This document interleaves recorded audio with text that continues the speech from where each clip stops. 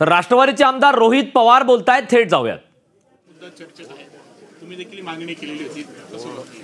आता गोपीचंद पडळकरांनी ट्विट केलेलं आहे ट्विट केलेलं आहे. नगरचं नामांतर करणारच नाही नाही एक तर तिथे असणाऱ्या सर्व लोकांचा तो विषय आहे. पुण्यश्लोक अहिल्यादेवी होळकरांचा जन्म हा माझ्या मतदारसंघामध्ये चोंडी या ठिकाणी झाला. आणि तिथला एक लोकप्रतिनिधी म्हणून.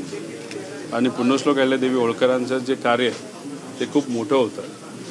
आणि लोकांचं म्हणणं असेल तर नक्कीच आम्ही पण लोकांबरोबर त्या ठिकाणी आहोत आणि मी सुद्धा जेव्हा काही सामाजिक कार्यकर्ते अराजकीय जेव्हा अख्ख्या जिल्ह्यामध्ये त्या ठिकाणी फिरले त्यावेळेस त्यांनासुद्धा त्या ठिकाणी मी पाठिंबा दिला होता. त्यामुळे राजकारण याच्यामध्ये न आणता मला असं वाटतं की आपण सर्वांनी मिळून अशा निर्णयाच्या मागे त्या ठिकाणी उभं राहण्याची जरूरत आहे. पण फक्त नामांतर हाच विषय जर आपण सातत्याने त्या ठिकाणी घेत राहिलो तर बेरोजगारी शेतकरी मजूर शहरी आणि ग्रामीण भागामध्ये असणारे असंघटित क्षेत्र व्यवसाय या सगळ्याकडे जे दुर्लक्ष आज त्या ठिकाणी होतं आहे आणि सिम्बॉलिक आणि फक्त भावनेचं भावने भावनिक भावनिक राजकारण त्या ठिकाणी जर केलं जात असेल तर त्याचा विरोध हा आपण सर्वांनी नक्कीच केला पाहिजे. गुलाबराव पाटील आज म्हटले की एक मराठा मुख्यमंत्री होणार होता आणि म्हणून आम्ही गद्दारी केली आणि त्यांना पाठिंबा दिला. कसं बघताय या वक्तव्याचं हे डेस्पिरेट आहे. म्हणतो ना आपण सगळ्या गोष्टी जेव्हा हाताबाहेर जातात तेव्हा आपण अशा पद्धतीचं वक्तव्य त्या ठिकाणी घेत असतो. कदाचित मग असं त्यांचं मत मत आहे का? की आत्ताचे जे मुख्यमंत्री आहेत ते फक्त मराठा समाजाचे आहेत पण कर्तृत्व काहीच नाही असं त्यांचं मत आहे का?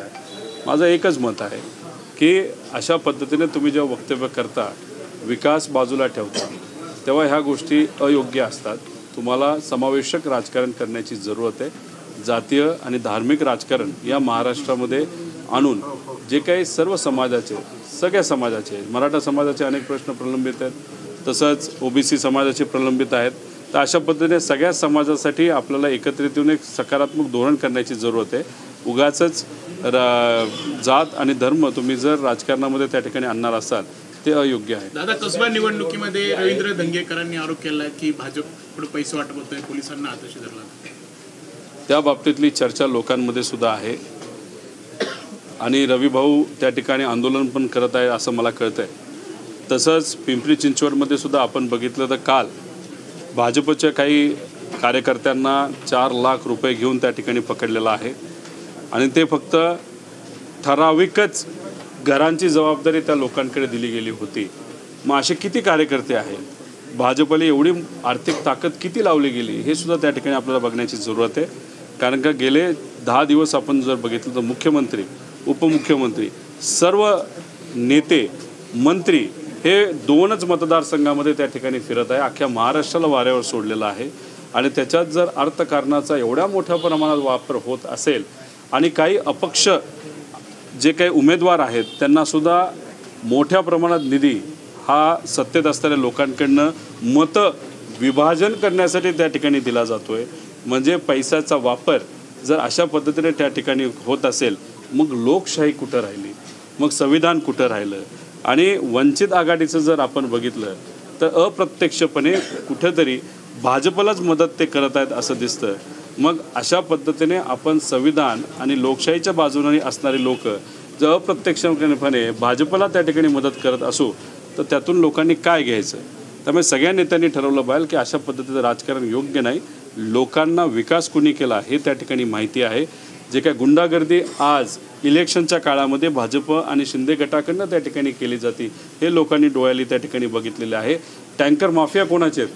हे सुद्धा लोकांनी त्या ठिकाणी बघितलेलं आहे. त्यामुळे लोक हे राष्ट्रवादीच्या बाजूने निर्णय घेतील असा विश्व आहे विश्वास मला चिंचवडच्या बाबतीत आहे आणि काँग्रेसच्या बाजूने निर्णय घेतील हे तिथं कसबा मतदारसंघामध्ये असा विश्वास आहे. निवडणुकीचा प्रचाराचा शेवटचा दिवस आणि त्याच्यात अ, नामांतरांचा हा मुद्दा. टायमिंग साधलं जात आहे असं वाटतं. इलेक्शन कमिशनपासून सरकारचे आणि केंद्र सरकारचे अनेक निर्णय त्या ठिकाणी बघितले.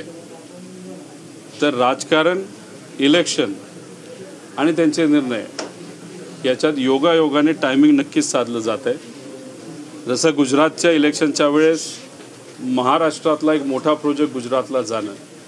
कर्नाटकाच्या इलेक्शनमध्ये आपल्या सीमा सीमा भागातला प्रश्न पुढं येणं.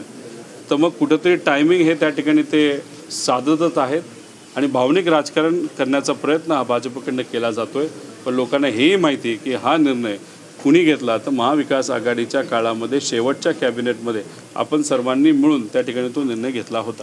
नामांतराला एमआयएम कडनं विरोध केला जातोय. औरंगाबादमध्ये अर्थात संभाजीनगरमध्ये आता मोर्चा काढण्याचा इशारा देखील त्यांनी दिला आहे आता निर्णय जर घेतला गेला असेल नामांतर त्या ठिकाणी झालं असेल तर मला असं वाटतं की अशा पद्धतीने प्रातिनिधिक स्वरूपात असेल नाहीतर आपण सिम्बॉलिक ज्याला काही गोष्टी म्हणतो तसं न करता त्या समाजाला शिक्षणापासून काही वंचित जर राहिले असतील नोकरीचे प्रश्न प्रश्न हे सगळ्या समाजाचे मुस्लिम समाजसुद्धा आहे तर आज नोकरी हाताला काम हे सगळे विषय जास्त महत्त्वाचे आहेत.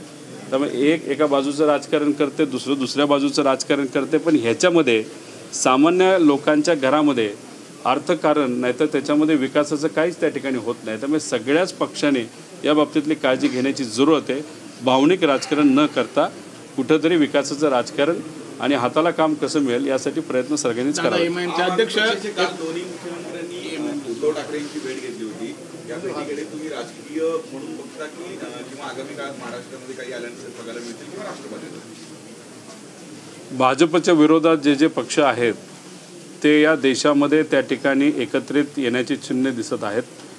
काँग्रेसली सुद्धा भूमिका घेत असताना कुठंतरी आता मोठ्या भावाची भूमिका जशी असावी सगळ्यांना एकत्रित आणून कुठंतरी आपण सुद्धा मागे पुढं त्या ठिकाणी केलं पाहिजे. ही भूमिका काँग्रेसकडनं सुद्धा त्या ठिकाणी घेतली जाते. त्यामुळे हे सगळे पक्ष भाजपच्या विरोधात कारण का भाजपकडे आज आर्थिक ताकद खूप मोठी आहे. आणि ह्या ज्या संस्था आहेत जशा ई डी असेल सी बी आय ह्या पण संस्था आणि इलेक्शन कमिशनसुद्धा त्यांच्याच इशाऱ्यावर चालतं का काय असं सामान्य लोकांची भावना झाली. अशा परिस्थितीमध्ये एवढ्या बलाढ्य शक्तीच्या विरोधात लढायचं असेल तेव्हा इतर पक्षांनी एकत्रित येणं पण महत्त्वाचं आहे. दादा एमआयएमचे अध्यक्ष असुद्दीन ओवैसी आज मुंबईत आहेत. आगामी निवडणुकांसाठी त्यांनी देखील कंबर कसली आहे? कसं आव्हान असू शकतं किंवा कितपत? मी वंच बहुजन वंचित आघाडी हा जो पक्ष आहे तसंच ओआयसींचा जो पक्ष आहे यांच्याकडे याच्या आधीच्या इलेक्शनमध्ये त्यांनी कोणाची मतं खाल्ली? त्याचा कोणाला जास्त फायदा झाला याचा एक सर्वसामान्य लोकांनी सुद्धा अभ्यास करण्याची जरूरत आहे. जर काही पक्ष फक्त मतं खाण्यासाठी आणि मतं विभाजन करण्यासाठी त्या ठिकाणी पुढे येत असतील तर मग संविधान आणि लोकशाहीला फार मोठा धोका त्या ठिकाणी होऊ शकतो. त्यामुळे मतं खाण्यापेक्षा कार्यकर्त्यांना निवडून आणण्यासाठी त्यांनी प्रयत्न करावे आणि एकत्रित यायचं असेल तर मग अशा पक्षाच्या विरोधात एकत्रित येण्याची जरूरत आहे. तो संविधान आणि लोकशाहीच्या विरोधात आहे म्हणजे भाजपचा पक्ष आहे.